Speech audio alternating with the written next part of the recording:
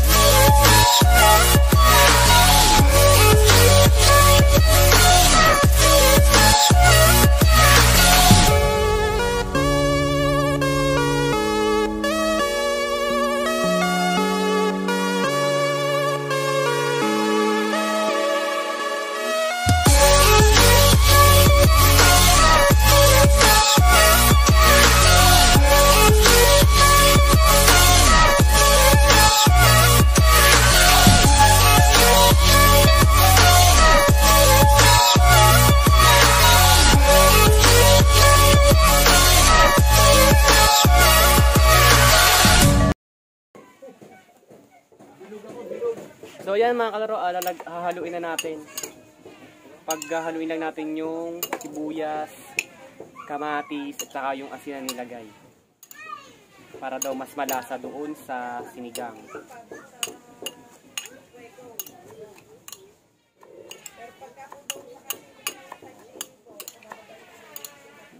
Halo na.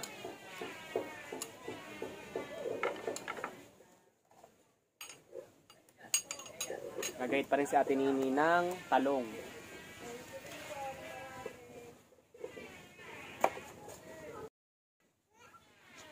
Bakit daw?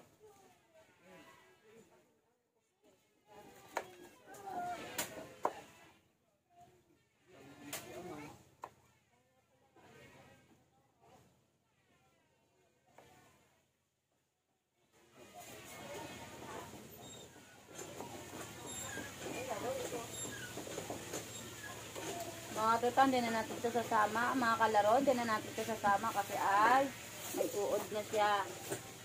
Ito na, tinapon na namin. At dito naman tayo sa niluluto ng Nanay Leia na ulam namin na pakbet na gulay. Yan.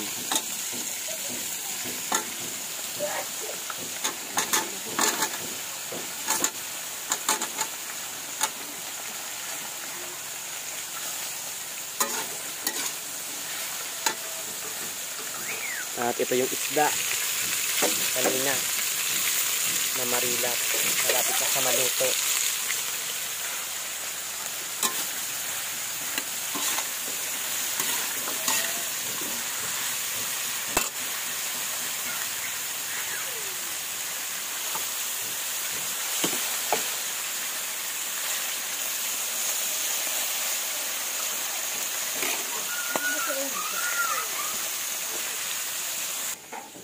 At ito yung lulutuin na sinigang para mamaya sa pananghalian.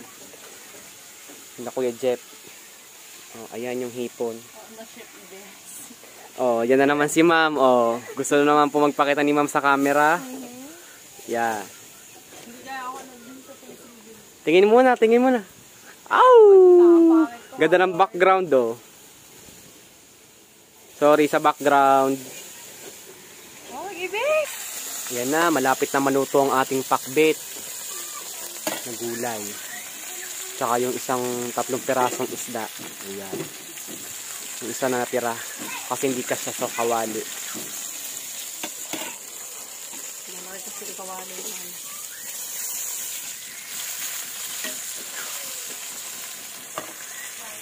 Yan, at nagpapasulok na tayo ng tubig. At syempre, ilalagay muna natin ang una, sibuyas at saka kamatis na inasinan.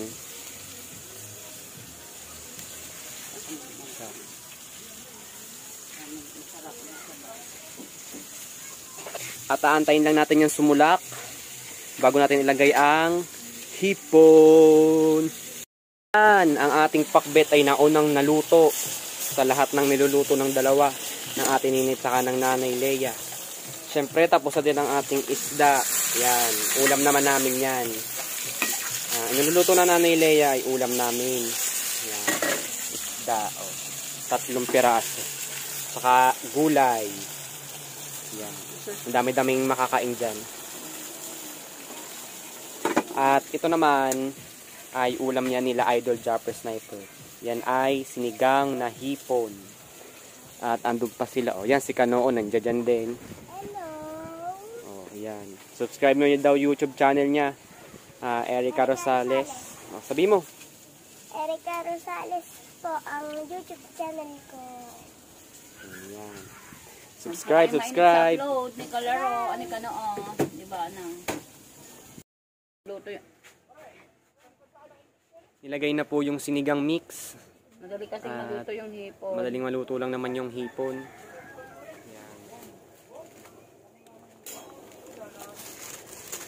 Ilang bang sinigang mix ang ilalagay dyan?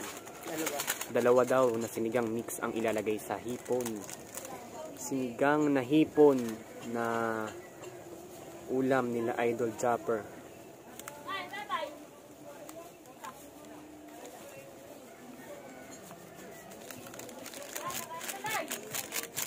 Sabi? Na, kalaro. Yan. Ang susunod na ilalagay ay ang hipon. Yan. Binanlawan naman ni Ate Nini yan. Bago ilagay.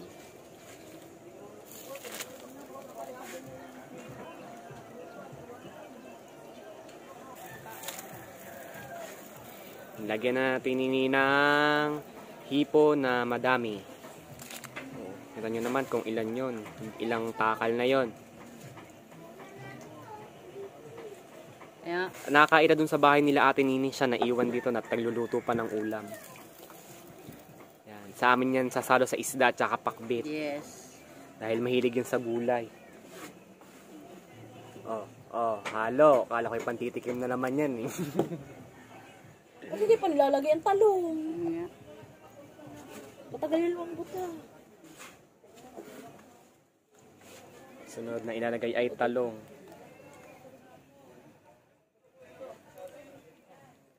Oh, hinugasan ulit yan. Malitikman tinini ha. Wala nang take man to. Hindi natin alam kung anong lasa. Kung ano. Yan, antayin lang sumulak. Panigurado awas yan. Panigurado awas sa sobrang dami ng sabaw. Patay pa nga niya sa mga. Kasi pa marami sabaw. Sabaw ang ano nila dyan eh. Hindi man hipon. eh. Kalay May lilag. Antayin nating sumulak at lumambot ang talong para tawagin na para matawag na sila Idol Japper na kumain dito sa kubo. Hindi pa natitikman niya kung anong lasa. Mamaya tikman eh kapag ano na, kulong-kulo na. Daming sili, lima. Limang siling green. Ang hangyan. Bakit kulang ang sangkap ng sinigang na ito? Kasi ho, ayaw nila na maraming sangkap ng sinigang. Gusto nila yung pure lang.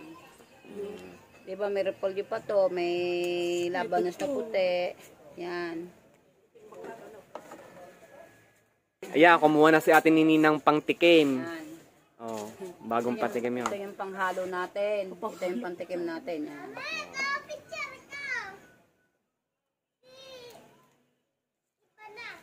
Ang haba naman ito. Yung mahaba ang pantikim na maliit. Tingnan natin kung maasin mo kung tama sa alat o ano.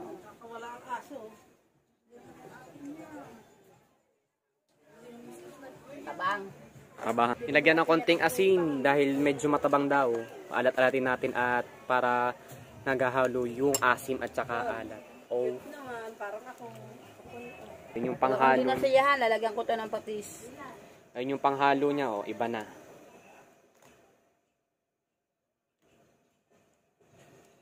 Sayaw pa yan, oh. Sasayaw pa. natin. O, titikman daw ulit. O, naiba na ulit. At luto na. Naglalagay na sa isang lalagyan at ilalagay na dun sa lamesa. At magkakainan na. Ha?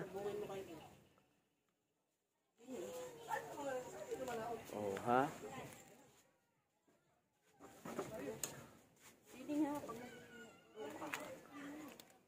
Hana! Rito ka. Si Hana, oh. Mayaman. Shoutout sa mga kalaro! Kala mo ha, napanood ko yun ha. Shoutout ako ng shoutout. Talaga pala nakabidyo. May pa-Jollibee yan kanina. Ano, bakit ganyan? ko Hindi mo nadala- kami kasama sa merienda. Yung nanay, nanay, tira mo nanay. Nagre-reklamo kanina. Nabigyan na ako kanina. Nanay, ay, anong binili niyo? Ba't ano gagawin sa styro? Ano, yung paglalagyan na merienda uli. Ay, merienda ba uli? Ano? Ano, lumpiang gulay. Pagka magpapaluto ka, umorder ka lang kay Erika. Yan si Hana. Pag may sponsor mali mo bukas meron. Ano ba yan dala? Ano yung dala? Prutas, metalsik. Nilalagnan. Pakain na naman! Ay, plato. Op. Kanin. Ayan ang, ayan ang kanin ni Ate Ann. Tama lang. Kulang sa alat. Asin na lang. Aka na patis. Ako na pinakamatabang na timpla. Matabang pa. Tan-tan. Timbangan. Diyan ang Kuya Jeff. Wow. Lutuan yan.